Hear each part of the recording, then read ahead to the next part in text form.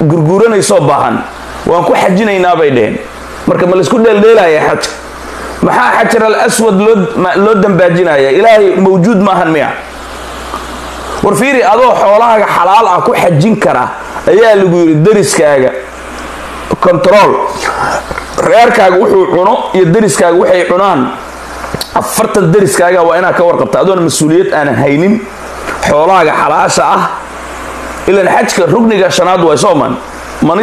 Ilayhi sabiilan markaa kari kartid waay. Karitaanka waxaa ka mid ah dariskaagu ma baahan yahay mise wuu dheragsan yahay. Inta aad maqan tahay waxay cunaan ma haystaan qoyskaaga. Ma ka war haysaa dariskaaga oo baahan maa xajinay. Arkaanu islaamu kamsatun soo ma ahayn shahaadatun an laa ilaaha ila allahu wa anna muxamada rasuulullahi wa iqaamu salaat wa itaau zakaat wa sawmu ramadaan macnihi wa xaji lbeyt man ilayhi sabiil soo ma ahayn haddaa kari kartidaa lagu yidhi. Karitaanka waxaa ka mid ah qofka aad necab tahay oo kula darisa iyo kan aad jeceshahay ee kula darisa iyo kaadan aqoonin iyo kaa taqaanidba waa inaad ka warhaysaa albaabkaa ku garaacdaa see tihiin waxaad cuntaan ma haysataan ani xajaan rabaa inaan aado. Adoona xajka aadaynin xataa inay kugu aqadaan aakhiro waa lagu weydiinaya. Marka haddii aad mas'uul noqotayna kaba sii daran. Xoolahan marka lagu xajinaayo ilaahay maxaa ilaahay ilaahay waxaan arkaya sheekh barbaraawi sheikh ay dhahaan oo ayaan dhaweyd yidhi xoolo xaaraana waa lagu xajin karaa oo xajka wuu ansaxaya xajka wuu dhacayaa uu yidhi no problem. Waa tii sheekh qaasim uu ka jawaabaya guri xaaraana salaada way ku ansaxdaa uu yidhi haysashada iyo salaada labay kala tahay salaamaad min kulli aafaad. Marka isku soo wada dub aadan madoob wuxuu yidhi waxaan macnihi meelahan layn ku dhidhiibi karnaa maahane waxaan wax lagu xajin kara maahan uu yidhi ilaahay baa nalehe dee uu jeedaa moogta dadkii oo baahan wixii sida loo dhacaayo wixii oo dhan oo arkaa marka nimankan xaramka isku shubay culimmada islaamka iga jawaabto culimmada islaamkaow dadkan xaramka isku shubay ee waan xajinay dhahaaya yaa macnihi dadkii oo baahan.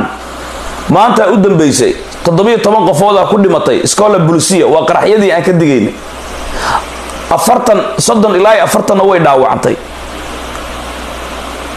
sow dadkaasi xataa gurmad uma baahna. Meel dhow haddaan kaa tuso waa bil ramadaan. Midda kale bishaan ramadaan la joogo qofka macnihii intuu soo baxay miinooyin soo qaatay iyo garnayl dad saa'imiin ah ama xataa saa'im biyaysan ahaanin bini aadam nool baabi'inaya qofkaasi macnihii islaamnimo miyaa lagu tilmaami karaa? Wuxuu samaynayo. Islaamka aan haysana makaasa islaamkii nebi maxamed lagu soo dejiyey calayhi salaatu wasalaam oo xataa kuwii dagaalka xarbiga lagu qabtay iyagoo diinta la dagaalamayo yidhi ha layska fasaxo suurad suurad ama aayad aayad ha la bara yidhi. Tabad iyo waad ogtihiin. Islaamka macnihii nebi maxamed walaalayaal ma islaamkaana. Islaamkii rasuulka calayhi salaatu wasalaam lagu soo dejiyey macnaha islaam waa nabadba islaamkan colka loo bedelay oo la suura xumaynayo islaamkeena makanba ilan islam is peace and meet and submission to allah bay ahayd islaamnimadu waa nabad iyo isu dhiibid la isu dhiibo ilaahayga casiiska ah. Intaasay ahayd. Islaamnimadu waa intaas aslim taslim. Macnihii islaam waa nabadgelaysaa nabad qaado waa nabadoobaysaa. Saasaan u fahmay aniga af carabiga ma aqaan laakiin jaahil baan ahay intaan culimmada ka dhagaystay loogu haaraangala diinta islaam. Marka walaalayaal dadkii waa la baabi'inayaa horeyna waxaan kugu sheegay qaraxyada waa la qaybinayaa qaarna sidoodii hadday suuragal noqoto macal dareewalkoodu isqarxin qaarna kunteenradan yaalla waa la yaryaraynayaa jumlo iyo tafaariikh ma taqaanaa ninbaa wuxuu la soo degayaa booyod shidaal ah. Qaarna uu jumlaynaa fuusta fuusto. Qaarna waxaa weye liter liter hadda marka macnihii qaraxyadii waa waa laga dhigaa jumlana waa laga dhigaa. Lix iyo labaatan kunteenaraa yaal. Adigu hurdaysaa lix iyo labaatan kunteenar oo kayd ah wixii baabuur oo soo galay marka laga reebo. Xalay ma ugu dambaysa marka maalmo ka hor iska dhaaf. Xalay ma kuu sheegaay iyo shalay life ku jira aniga. War international community-ga digniin bay u soo direen villa soomaaliya qaraxyo inay soo galeen life ma kuugu sheegay xalay aniga mise beenaan u haystaa qaraxyaha ka dhacaya muqdishow macnihii labaatan iyo afarta saacay soo socota ama afartan iyo sideedda saacay soo socota haddaan wax isbedelin saasaa villa soomaaliya loo sheegay ee macnihii international communityga digniintaasay xalay dhiibeen. Life ma kugu sheegino? Sheega dee. Aniga inaan kuu sheegay in kale adaan sheegaayo aniga waa kuu sheegay. Ilaahay baa iloog wixii ilaahay ogeysiyaan kuu sheegay waay qaraxyada ninkii sheegi lahaa ma arkaysa nisa saakso laguma dilin. Sarkaalkii nisa laba xidiglaha ahaa idaacadda ma idiin sheegtay. Qaraxyada meesha yaallaanaan ogahay bas uu yidhi xamar qaraxyadan lagu laynaayo. Intaasuu yidhi madaxa labaa laga dhigay. Dowladdu dowladdu oo macnihii qaraxyada inay ka hor tagta la rabay. Sirdoonkeeda haddii qofkii qaraxa anaa ogdhahayo madaxa ay qarxinaysa ka war. Yaa qarax wada marka. Qaraxa anaa wada waaba la qarxinaya qofkii. Bug! Ha qaraxii anaa og meeshuu yaallo. Dhag waa lagu dilayaa. Shacab noqo. Idaacad haddaa soo fariisatidna waxaa weye waa lagu dhammaynaya marka walaalayaal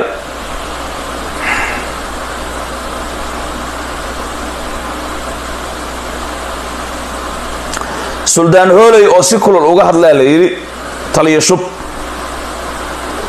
Waayahay suldaan hooley muxuu leeyahay? Suldaan hooleyaa hadlay baa la leeyahay ukaadi waa fiirinaa suldaan hooley oo taliya shub si kulul uga hadlay. Runtii waxaa bal hooleyga aan dhegaysano hooleyga nooga yaallaa wadna hay. Soo dhow dikariin baasha wuxuu u dhashay maxamuud hiraabe duduble. Runtii waxa uu nooga yaallaa wadnaha bini aadanka meeshuu uga yaalla ayuu nooga yaallaa. Ee warka naga soo gaaray taliya shub ama ninka la yidhaahdo jenaraal mahad. Runtii wax aan u bognay maahan. Jenaraale waxa weeye iimaanka allah ku geliyo. Runtii shalayna maanta maahan. Maantana shalay maahan. Bismillahi alxamdulilah waxaan rabaa shir jaraa'id inaan qabto. Shirkaas jaraa'idna waxaan rabaa inaan uga hadlo arrimo hoose oo iga soo gaaray taliyaha ee ciidamada asluubta soomaaliyeed jenaraal mahad.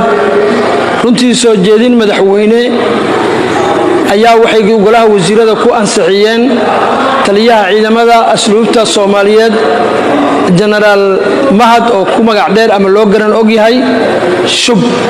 Runtii sifa sharciya ayaa lagu magacaabay taliyo ku-xigeenkii ciidamada asluubta soomaaliyeed ee ahna kusimihii taliyaha ciidamada asluubta soomaaliyeed jenaraal cabdikariin cali afrax ee si sharaf leh oo qadarin leh oo karaamo leh oo milge leh ayuu ugu soo dhoweeyey xilkii waxaa meeshaas goobjoog ka ahaa wasiirkii cadaaladda waxaa goobjoog ka ahaa maxkamaddii ciidamada qalabka siday iyo saraakiisha dableyda iyo alifleyda ciidamada asluubta si sharaf leh ayuu xilkaas u guddoomay cabdikariin cali afrax.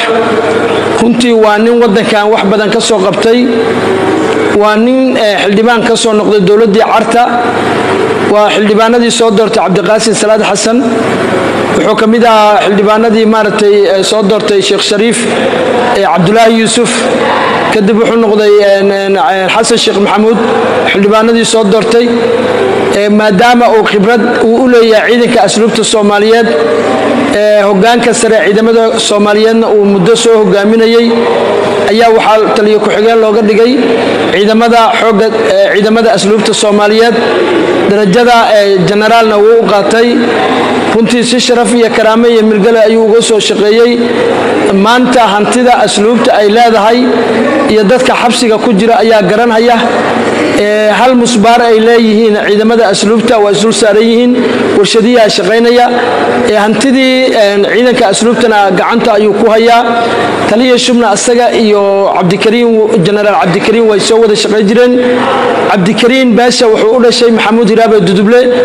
Runtii waxa uu nooga yaallaa wadnaha bini aadanka meeshuu uga yaalla ayuu nooga yaallaa warka naga soo gaaray taliya shub ama ninka la yidhaahdo jenaraal mahad runtii wax aan u bognay maahan. Warkaasna waxaan ka helay anoo ah suldaankii ummadda soomaaliyeed ila ku dhowdhow runtii waa kuwa caqli celinaya jenaraale sax maahan adiga waxaa meeshaan iyadoo la ilaalinayo baawur sheerinka koonfur galbeed. Ayaa ninkaa khibrad badan uu oggolaaday in koonfur galbeed ay xaqeeda hesho hadde inaad tidhaahdo maanta cabdikariin aniga lama shaqaynayo sax maahan taas wax la aqbali karana maahan. Dowladnimaduna waa is-aamin iyo wax laysku darsaday iyo kala dambeyn. Nin walbana hadde baawur sheerinuu ku imaanayaa. Cabdikariinna waa nin khibrad u leh taliyo ku-xigeenkii. Inta hadda hal sano ku dhowaad soo waday ee hogaanka ciidanka asluubta waana nin ay ku kalsoon yihiin ciidamada asluubta soomaaliyeed. Marka kelmaddaas waxay iga soo gaartay ilo ku dhowdhow genaraal mahad oo loo garan og yahay shub genaraale waxa weeye iimaanka allah ku geliyo cabdikariin iyo adigana waxa weeye waxaa tahay taliyihiise adiga isagana waa taliyo ku-xigeenkaadii wada shaqayn baa idinka dhexayso runtii ereygaas haddii uu taliyihii ka soo yeeray waxaana ka soo helay ilo runtii xogogaal ah ayaa arrintaas ka soo helay oo taliyihii shub u dhow madaxweynaha jamhuuriyadda soomaaliya xasan sheekh maxamuud madaxweyne waxaan kaa codsanayaa si sharaf iyo qadarin milge iyo maamuus leh adoo ah madaxweynihii jamhuuriyadda soomaaliya madaxweynihii aan doorannay madaxweynihii aan garabkiisa taagnayn aan nahay wakhti walba iyo goor walba. Waxaan rabaa arrintaas maadaama uu taliyihii khaldamay haddee soomaalida waxay tiraa gacmo geli jiro hoosaa loo dhaqaa. Anigu warkaas waxaan ka helay taliyihii shub waa wax cad weeye waxaan rabaa madaxweyne arrintaas inaa hoos u gasho. Nin walbana waajibaadka uu leeyahay aad siiso. Waxaan si gooniya madaxweyne kaaga codsanayaa ama dhammaan ummadda soomaaliyeed uga codsanaya dadka darajada loo magacaabayo oo mas'uuliyadda loo magacaabayo. Madaxweynuhu waa ilaalayaha sharciga. Qofka waxaa rabaa mas'uuliyadda markii loo dhiibo tii adiga aad leedahay inaad gudad waayahay. Kadib cabdikariin inuu dudubla yahay uu noo sheegay. Ee hooley suldaanka ummadda soomaaliyeed baan ahayuu yidhi marna irir samaale waa waa la yaabay. Cabdikariin dudublinimadiisii markaan xagga iska dhigno taliya baawer shayrin uu ku yimaaday haddaad tiraahday cabdikariin taliya baawer shayrin uu ku yimaaday taas horta qalinka geli oo macnihi warqadda ku qor. Haddii taliya shub uu yidhaahdo lama shaqayn karo waa taliyihii asluubta xaqu u leeyahay hadduu wax ku arkay. Ninkan waa nin askarta yaqaana dowladnimada yaqaana hadda taliya shub wuxuu magacaabay guddi. Hoolayow markaad hargeysa aad jirtay malaha ninka habar gidir ee microfonka kuu soo qabtay hadda media iskeentay wadnuhu nooga yaalla wadnuhu nooga yaalla cabdikariin wadnu hadduu tuug yahay lalama shaqaynaayo because taliya shub oo meeshaan taliyo ka ah kusimaha ayuu u dhiibay markuu ka tegaya meesha. Ogow adiga taasi.